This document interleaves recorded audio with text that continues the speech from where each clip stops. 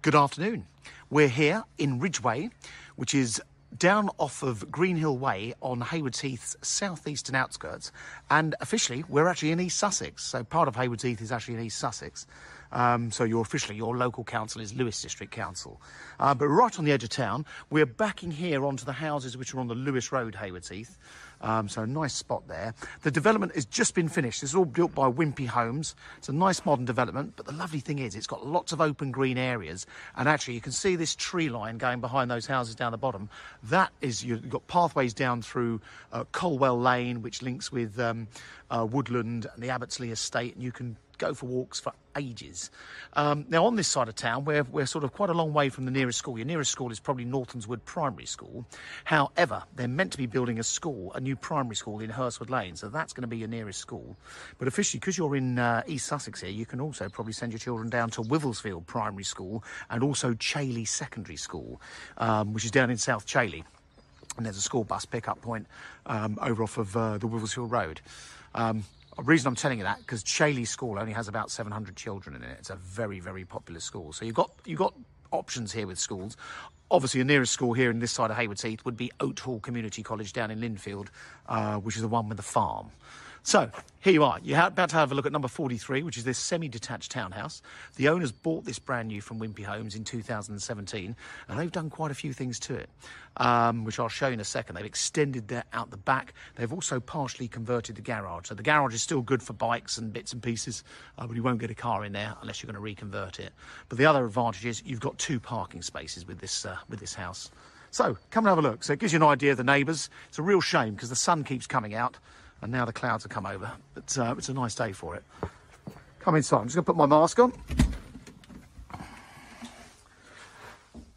The owners have got really lovely tastes and they've done all sorts of uh, nice modern touches to it, including this stair runner, as you can see. But also, you can't really see on the camera, but this is a lovely limestone floor, and they've run that uh, through to the kitchen and the downstairs loo. So, first things first, we're here in the entrance hall. Here's the kitchen. Kitchen's all loaded, so you've got all the usual appliances built in in here. Modern range of high gloss units, fridge freezer behind the door, and quite a clever little breakfast bar. I do, I do like low windows, it gives not lots of natural light. They've got blinds up against the windows, but gives you an idea. Great big understairs cupboard there. Downstairs loo. Again, see what I mean? This lovely floor continues throughout. And then the sitting room at the back now that is all you get with these houses, it's just this room. But as you can see, if you look through, they've done the extension, which has given us this fab garden room with the bifolding doors. Now the limestone floor in here has actually got underfloor heating, which is actually on at the moment. It's really nice. And of course, you've got the roof lantern looking up at the blue sky when it comes back out. So lovely room. And they've also done one of these lovely stone uh, tarred walls. Really nice. If you have a, have a look at that, beautiful, um, beautiful tiling got on there. And then the garage, well, this is what was the garage. So this would have been the back of the garage. In my opinion, been put to much better use as a home office. We all want lots of rooms. How often you use the garage? And again, this flooring continues. And then what was left of the garage is here. So still plenty of room for bits and pieces. As you can see, you get a big motorbike in here, bit of eave storage space above and it's a bit these are a bit wider. A lot of these modern houses now the garages are actually getting a bit wider than normal. So i don't know how wide it is you'd have to look on the floor plan but it's plenty of room to get various bits and pieces and the usual usual stuff we put in the garage. I'll take you out in the garden a minute because they've had that all landscaped real dream entertaining area. And then come upstairs like with all new developments, they're actually private estates. So you as the residents actually pay to have the estates and all the play areas, the roadways and things like that maintained.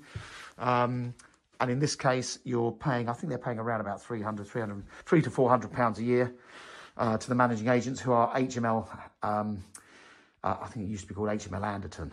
But it's very well managed estate. This is the family bathroom, fab big mirror, absolutely spotless. You've got the second bedroom at the back, which is beautifully presented very tidy. And then we're overlooking the back. So those big houses you can see through there, they're on the Lewes Road. And we are backing onto one of these wildlife corridors here, which is a real bonus. So that's all good. But a lovely big bedroom in here. Full range of wardrobes. The young lady in here is keeping it very tidy. And then in the front, you've got the smaller bedroom, which is still a double by today's standards. Plenty of room for uh, various bits and pieces. Of course, desk or gaming table. And then come upstairs. This, for me, I really love that back room, the, the uh, extension room, but this bedroom is fab. So you've actually got a, like a lobby down there. So you come in a door, then up to this huge bedroom. And you've got really high ceilings. So as you can see, it takes an enormous bed, great big high ceilings. At the back, you've got a Velux window and a full range of wardrobes. If we look out the front, looking back down the road, like I say, you can just about see those trees over in the back. Like I say, there's lots of, if you've got dogs, these people have dogs. If you want to go for a walk, you're out on, you're out in countryside in no time here. So again, I mentioned big range of mirrored wardrobes all along that wall and the ensuite. So we have an oversized shower and of course, basin the loo there with another Velux window. So really lovely. So that gives you a pretty good inside uh, idea of the inside. As I mentioned, they bought it in 2017. The extension and the garage conversion was only done last year. Really well done. Again, just a quick glimpse, bathroom, and of course this huge second bedroom. I mean, in most of these houses, this is a very spacious three bed. A lot of these townhouses, this back bedroom would have been split into two. So that could be two bedrooms if you really wanted to.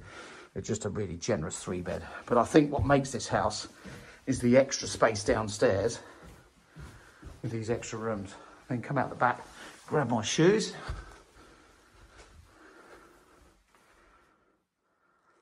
Is nicely presented. A shame it's not a nicer day or in the sun, summertime. You can imagine with those bifolding doors open right up. This is just an excellent entertaining space. Let just drop my shoes down there and then come out the back. So like I say, they've had it all. I can take my mask off now. They've had this all landscaped for an easy life. Big entertaining area here. You can see it's got a big fire pit.